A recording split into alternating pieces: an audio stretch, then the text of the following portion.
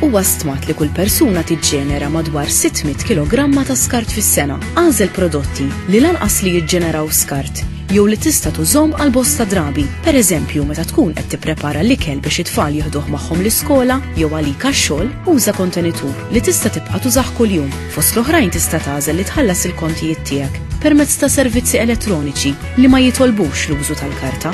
Agħmel il-parti tiegħek biex jonqos l-iskart. Għal aktar għajnuna kif tnaqqas u tirriċikla l-iskart, ċemplilna jew żur is-sit elettroniku tagħna. Dejjem ftakar kemm u fejn se tarmi.